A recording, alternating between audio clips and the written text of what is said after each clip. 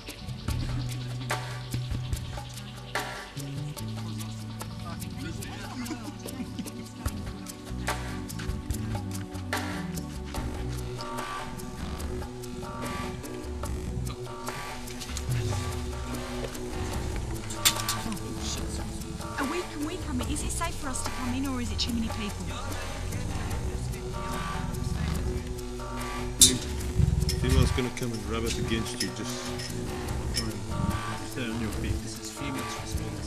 See that? It's okay, she's just going to rub up against your side. It's Phoebe's response. See that? The cat smells a new smell. It's a new home. Redirects the flow of the pheromones, the Jacobson's organ.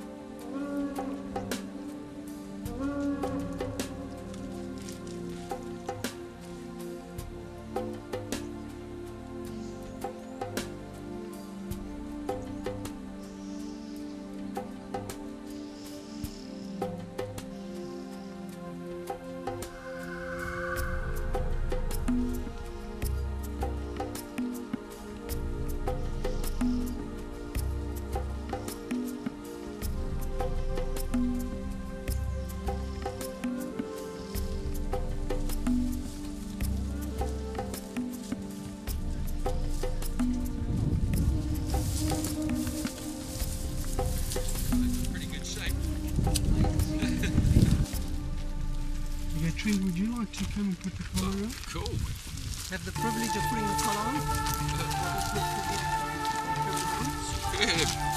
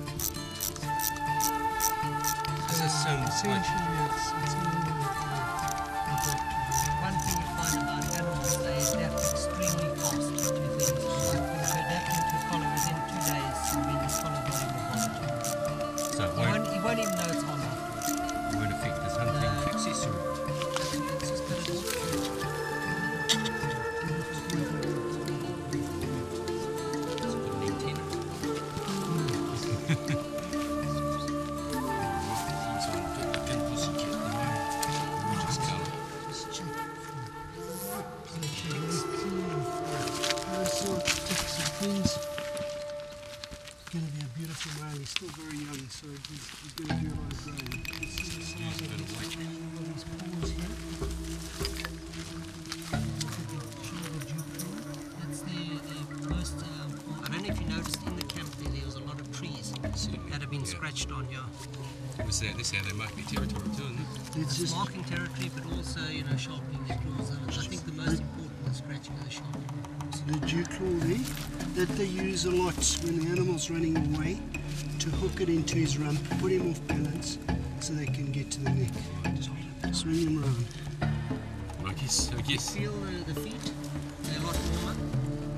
And a lot of the um, cats actually lose a lot of the heat through their feet. That's why on a very hot day you see a lion lying with his